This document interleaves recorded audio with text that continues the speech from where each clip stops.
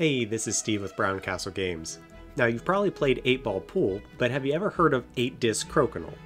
So, this is something we made on our laser engraver a while back, and it turns out it was a lot of fun. So, let me introduce you to 8 disc crokinole.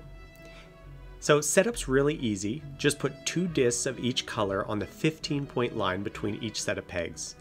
One of those will have the lone 8 disc, which is going to point towards the shooting line where the first players will start the round. So you can play by flicking with your finger or using a crokinole cue stick to knock discs into the center hole or the gutter. If your cue disc ends up in the gutter, off the board, or in the center, then you lose your turn and your opponent may shoot from anywhere along the outer ring. Let's get started.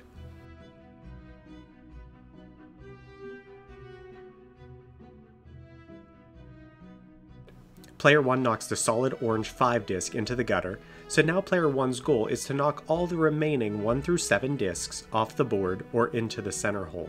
Only then can he shoot to knock the 8 disc off the board. If you successfully knock one of your discs off the board, you get another turn, and the cue disc returns to the same quadrant's shooting line that it resides in.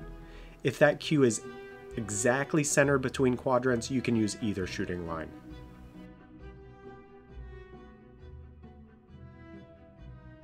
Unlike traditional crokinole, if a disc is touching the outer boundary line, it's still in play until knocked into the gutter. Player 1's turn is now over. Because player 1 is solids, player 2 is stripes, and his goal is to knock the discs 9 through 15 off the board. By knocking the 13 disc into the gutter, player 2 gets another turn. Since the cue disc is primarily residing within the bottom quadrant, it returns to that shooting line. Since player 2 also knocks an opponent's disc into the gutter, he loses his turn.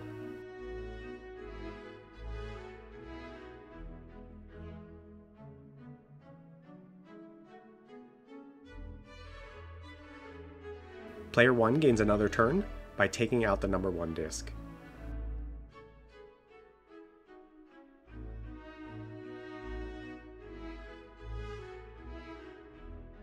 A failed attempt means it's now player 2's turn.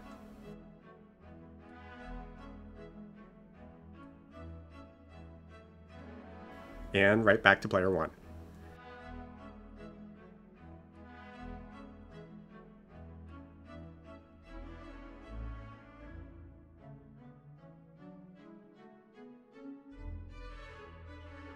Wow, that was a close one. If the 8 disc goes into the gutter while the player still has discs remaining on the board, then that player loses the match.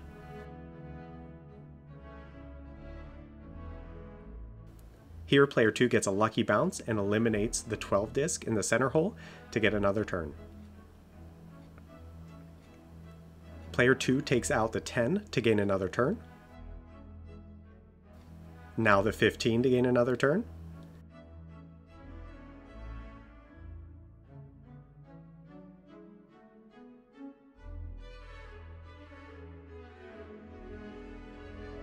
Now the 9 to gain another turn.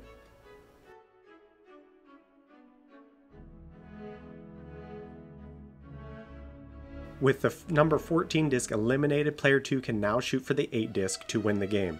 But if the cue disc goes off the board while taking out the 8 disc, that player will lose the match.